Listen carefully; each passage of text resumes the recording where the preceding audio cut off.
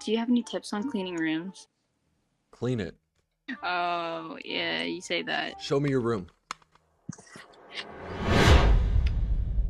Holy Discord mod. It could be worse. It's What do you worse What do you do for a living? I'm I am a high school student. I'm graduating this year. Do you have a job? No. Okay, so you should have no problem to make some time to clean your room. I mean, I have all the time, but do I have the motivation? Why don't you have motivation? The thing is, I just moved one thing and I'm not even finished unpacking. You just moved.